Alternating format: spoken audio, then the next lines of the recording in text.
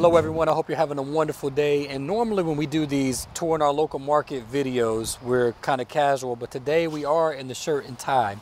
And the reason why is because we are going to sit down at what I'm going to suggest is the premier fine dining experience in Florence. We are heading to Victor's in downtown Florence, and I would say that Victor's and the Hotel Florence are the heart of downtown Florence. And so let's don't waste any time. Let's head directly to downtown Florence and meet the owner of Victor's, Mr. Tim Norwood, and executive chefs Cooper Thomas and Shelby Tumbleson.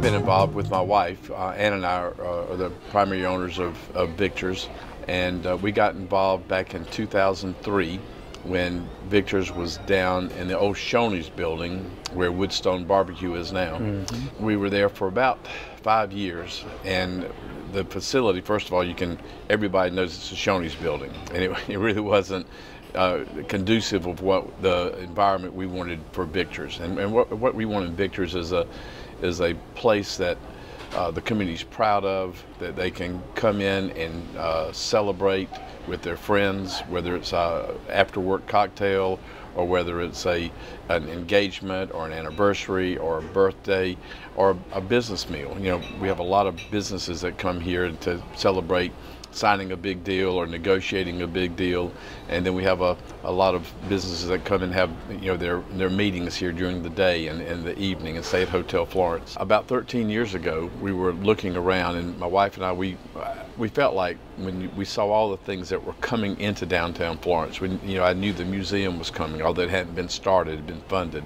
The little theater hadn't hadn't been built yet. The library had been uh, completed, and then we were looking for the Performing Arts Center happening. But knowing all that was going to happen over the next few years down the cultural corridor down Dargan Street, uh, we felt like there was a, a, place for downtown to have a, a really nice restaurant, uh, you know, a white tablecloth restaurant and great cocktail bar. One thing we wanted to create in, in uh, with Victor's is a, a place that where the where the food is paramount. That you know, we want to we want to serve the the um, hand cut, 30 day wet aged steaks. And you can't get those anywhere else in Florence. And that's a, a the porterhouse, and, and these are hand cut fillets and hand cut ribeyes.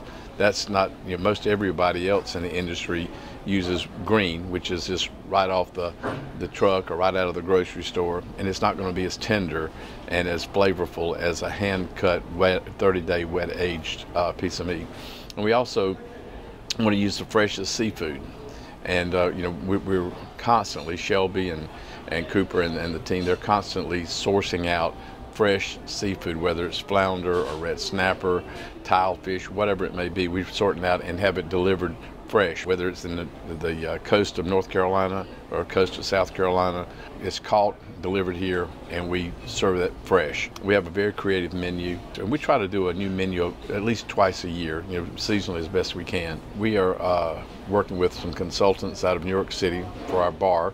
We've had uh, them come in and do a lot of training with our bar staff, getting getting the classic cocktails down pat, uh, utilizing you know handcrafted, which you know um, it takes a little longer to make a handcrafted drink, but it's so much better.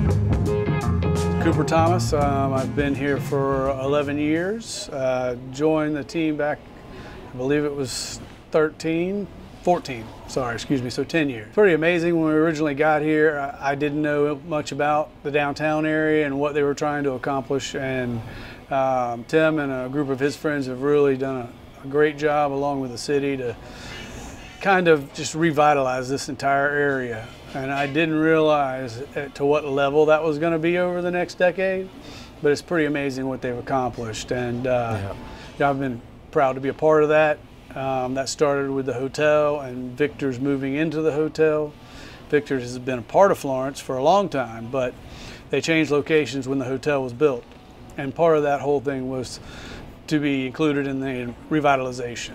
Um, and they've modeled that after other towns in the state and around the country who have been successful in doing that. When it comes to the philosophy for menu, what we try to do is maintain freshness.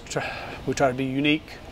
We try to stick to a southern culture, but maybe add a little flair and a little different twist on things. You know, I, am lucky to have some wonderful guys working for me in the kitchen and out front. Shelby Tumbleson is uh, my co-executive chef, and she does an amazing job of coming up with dishes, you know, running the kitchen, maintaining standards and quality control and everything else. You're only as good as the people you got with you. We're open 365 days a year because we're inside of a hotel.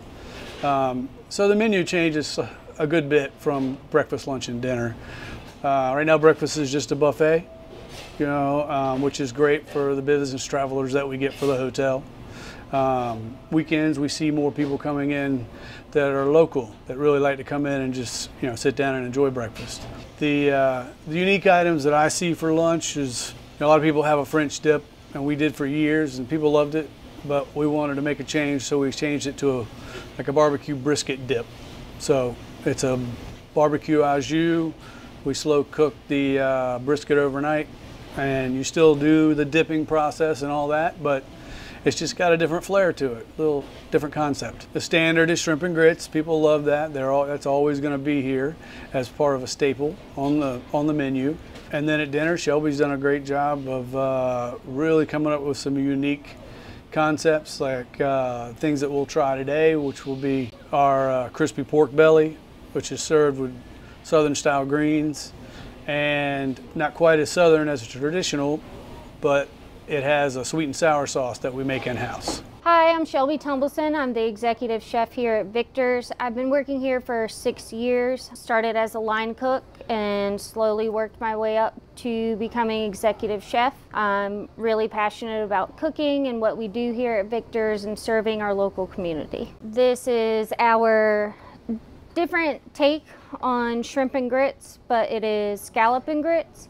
Um, we use Jimmy Red Grits out of Altman Farms. Again, a local farmer provides whatever seasonal greens he has. Right now it is braised mustard greens, seared scallops, Our all of our microgreens in-house are actually sourced out of Hartsville. And then we also make a blueberry barbecue sauce from scratch, fresh blueberries, lots of vinegar, so it kind of balances out that sweet and tangy flavor profile. Here we have our porterhouse. So a porterhouse is the filet in the strip um, as one steak.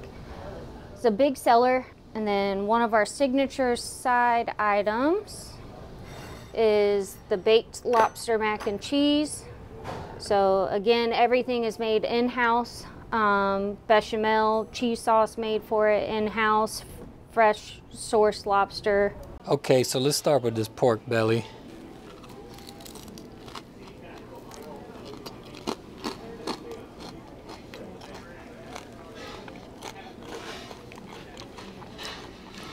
Oh man.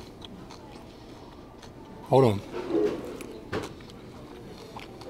All right, so first of all, these greens are on point. There's an art to cooking greens. We had some greens, we had some collards on Father's Day. They were really good. These right here. And then this pork belly. This is sweet and sour sauce they've got. It's subtle. Everything's just packed with natural flavor. It's not overpowering. This is good. I'm definitely gonna put this on the recommend list. I don't know which one of these I'm most excited about, honestly. it's probably all equal. This one could be it. So the scallops and grits, for one, those of y'all that have been watching the channel long enough know, or maybe not, I'm a big blueberry fan. We got five blueberry bushes, excuse me, on the property. With a blueberry barbecue sauce, I don't even know what to expect, honestly.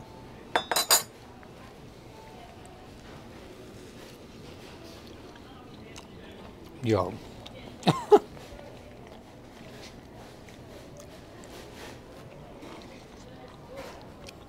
Come on, man. I don't even know where to start. The the blueberry barbecue sauce with the scallop. Best way I can describe this, it has like a it's got like a holiday flavor to it. like a warm spice, but it's sweet. Neither one of those being overpowering. When combined with the grits, those grits are smooth, buttery. They've still got that stone ground texture. Some of the grits are big enough to have that still. Again, kind of same thing with the pork belly. Nothing's overpowering. There's not a lot of striving or competition of flavor. That's all just meshes together. And then when you get a bite with the greens, that has a whole nother dimension. It changes the complexion of the whole dish. So you, you've got like two or three dishes in one. That blueberry barbecue sauce is crazy. I'm gonna mess around and eat this whole thing. And then somebody's gonna be mad at me because they probably want me to bring this home. I don't know how you could not like this, unless you just like don't like seafood or grits or something like that. Lobster mac and cheese, cast iron skillet. I don't I don't know how this could go wrong. See if you can get that.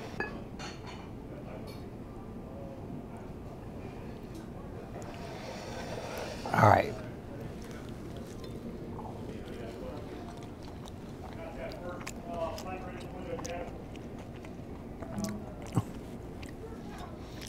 Promise y'all, I'm not, I'm not hyping here.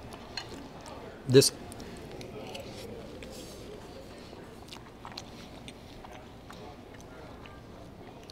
is rich. I know I keep saying it, but but still subtle. It's not um I could probably eat this whole skillet. Again, the lobster flavor is subtle. I know people got mixed opinions on the crumbles on top of the mac and cheese. It has a good texture. That is crazy good, man. this is cooked medium rare.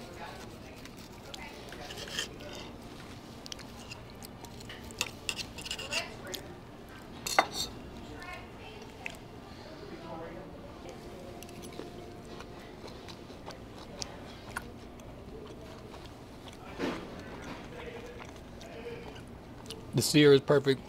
The season's great.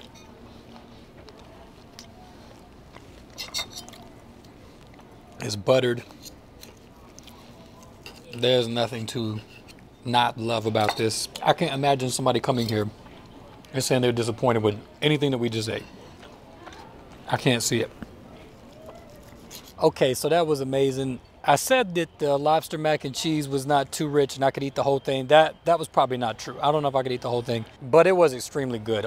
Everything was extremely good. I don't think that you could go to Victor's here in Florence and be disappointed. Like I said, I, I can't imagine somebody being disappointed with everything that we just ate.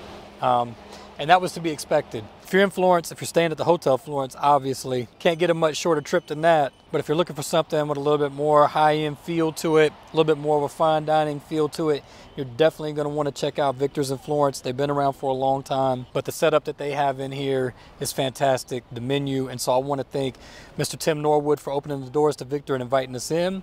I also want to thank Cooper Thomas and Shelby Tumbleson for putting on the food for us. They did a fantastic job. I thought about something I said. I said that that blueberry sauce reminded me of the holidays. Don't think I said hollandaise, not hollandaise, the holidays. It had a spice flavor to it that reminded me of like Christmas or Thanksgiving. Uh, it's super good, unique, fantastic, man. I can't say enough about how good that meal was. So if you're in town, make sure that y'all check out Victor's in Florence. Also, if you have use for their catering or banquets, make sure that you look at the different things that they are also offering here at the various venues downtown. I look forward to seeing y'all on our next stop as we are touring Florence, South Carolina and the Pee Dee. In the meantime, y'all take care and we'll see you on the next one.